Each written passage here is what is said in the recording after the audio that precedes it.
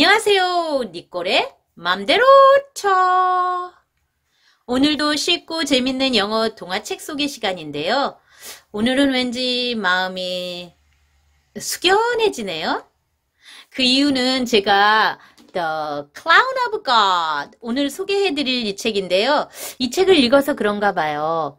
신에 대한 이야기이기도 하지만요. 인생을 다시 생각해 볼 수 있는 책이기도 한 것 같아요. 제가 어리, 아이가 어릴 때 같, 읽었을 때는 그런 느낌을 별로 못 느꼈는데 오늘 또 다시 느낌이 새롭게 다가오네요.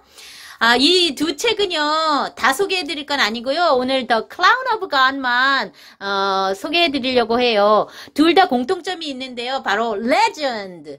이 책도 토미 드파올라의 책인데요. 이 책은 네 권이나 레전드 전설에 관한 책을 어, 소개해 놓은 글인데요. 굉장히 좋아요. 재밌고 다음에 소개해 드릴 거고요. 오늘은 요 책, 어, The Clown of God만 얘기해 드릴 텐데요. 제가 도미드 파울라 작가분은 아트 스토리에서 잠깐 말씀드렸죠. 이탈리아계 미국 분이신데요. 이 책에도 전설에 관한 이야기이긴 한데 이게 이 책이 바로 어, 프랑스에서 전해 내려오는 예, 전설이라고 하는데요. 사실은 유럽 전역에 퍼진 것 같아요. 이 이야기는 어, 작가가 그런 전설을 갖다가 각색해서 본인의 이탈리아 경험식으로 해서 배경은 이탈리아로 해서 이야기한 건데요. 참 흥미롭고 생각해 볼 수 있는 책이니 한번 크리스마스 전에 저는 이게 이 책을 크리스마스 때쯤에 소개해 드릴까 생각을 했는데요. 오늘 다시 읽어보니까 굉장히 좋네요.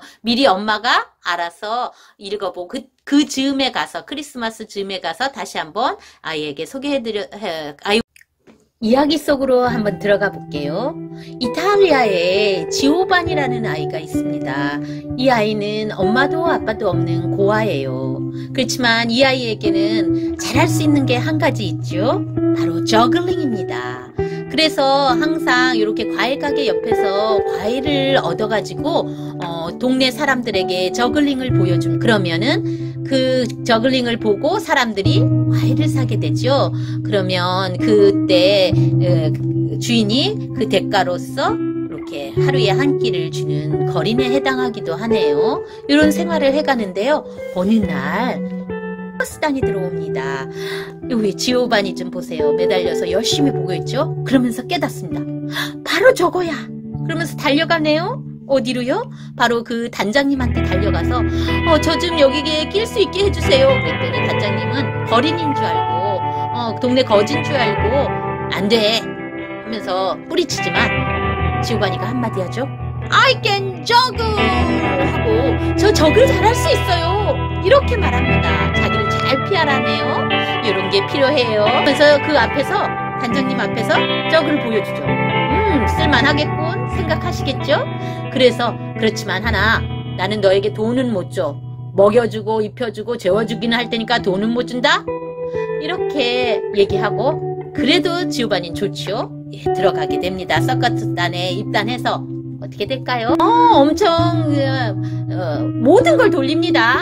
어, 플레이트, 볼, 심지어는 횃불까지 잘 돌리죠. 그래서 사람들의 마지막에는 항상 이렇게 무지갯빛 볼을요 어, 던지면서 For the sun in the heavens 하면서 클라이맥스를 장식하게 됩니다. 그럼 사람들을 환호하면서 이렇게 돼서 지오반이는 어떻게 됐을까? 어, 결단을 하게 됩니다.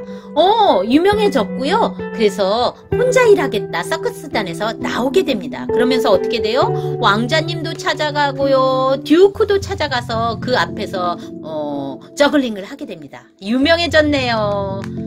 예. 그럼 그 다음 이야기는 어떻게 될까요? 이제 돈도 많고 그래서 열심히 삽니다. 지오바니는요. 그러다가 이제 먹으러 다음 도시로 이동을 하게 되는데요. 먹는 중에 쉬어서 먹는 중에 이렇게 사제들을 만납니다. 그 사제들이 한마디 던집니다. 같이 먹을 수 있을까요? 음식을 나눠 먹을 수 있을까요? 그랬더니 지오바니는 어, 이젠 돈도 잘 벌고 그러니까요. 충분합니다. 드리죠 하면서 이야기를 이 사제들이 지오바니에게 먹으면서 이런 얘기를 해주죠. Everything signs up of the glory of God. Why? Even your juggling.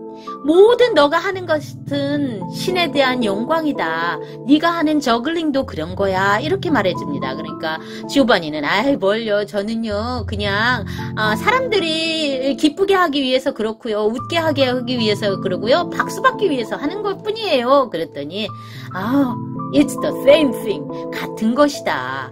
그것은 네가 사람들을 기쁘게 하는 것은 어, 신에 대한 기쁘게 하는 것 또한 같은 것이단다. 이렇게 말씀해 주셔요. 그래서 음 그런가요? 하고 예 고맙습니다 하고 지오바니는 그냥 떠나게 되지요. 온 곳을 다니면서 환호와 박수를 받으면서 지오바니는 점점 그런데 이런 유명세가 평생 갈까? 그렇지 않죠. Years passed. 어, 시간이 흘러 흘러 지오바니는 늙었습니다. 이렇게 나이를 먹게 되네요. 그래도, 그래도, 아직은 저글링을 포기하지 않았는데요. 어, 어느 날 저글링 하다가 저글링이 떨어졌어요. 그랬더니 사람들이 돌을 던지고 과일을 던지고 막 비난을 붙습, 퍼붓습니다. 그래서 피신에서 오면서 자기의 reflection, 물에 비친 자기 모습을 보면서요, 결심을 합니다. 아, 나는 더 이상 이제 저글링 안 할 거야. 하면서요. 이렇게 늙고 저글링도 이제 더 이상 할 수 없고 이런 시기에 이제 고향 소렌토로 교회가 있던 그곳으로 돌아옵니다. 참 슬프죠. 늙고 병, 어, 할 일, 할 일도 못하고 배고프고 굶주림에 고향으로 돌아오게 되네요. 그 교회 앞에서 그런데 교회 안에 들어왔더니요. 지오바니는 너무 놀라운 광경을 발견하게 됩니다. 모든 사람들이 줄을 서서 창송하고 선물을 주고 환송하고 멋진 장면이 펼쳐져서 어, 지오바니는 너무 놀랍게 보는데요. Lady and Her Child 성모상에게 선물을 주는 날이라고 해요. 그런 날이 있었나 봐요. 그래서 그 광경식이 벌어지는 날 사람들이 이렇게 모인 것이에요. 거기에 감동을 받게 되는데요. 다 사람 그리고 다 사람이 가고 난 다음에 지오바니는 그 성당의 안에 남아서 이 성모상을 보게 되죠. 근데 지오바니가 발견한 것이 있어요. 성모상 좀 보세요. 이 어린 아이가 행복해 보이나요? 이상하게 슬퍼 보이는 거예요, 지오바니에게는. 그래서 지오바니가 결심을 합니다. 어떤 결심이 될까요? 다시 분장을 하고, 예, 화장을 하고, 바로 그 성모상 앞에서 저글링을 합니다. 이렇게 저글링을 혼자 열심히 하고 있는데요. 사제는 와서 이 신성모독을 누군가가 하고 있다. 이렇게 하면서 그 음, 마스터를 불러오게 됩니다.